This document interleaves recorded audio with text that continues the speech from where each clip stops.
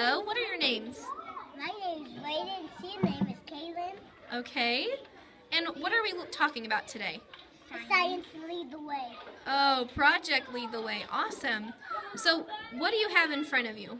Uh, Goldie Block stuff. And what does GoldieBlox help you guys with? Push and pull. Oh, pushes and pulls?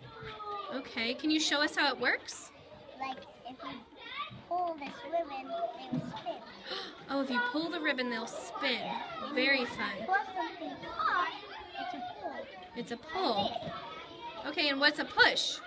That you push something like like Oh, good job. Awesome.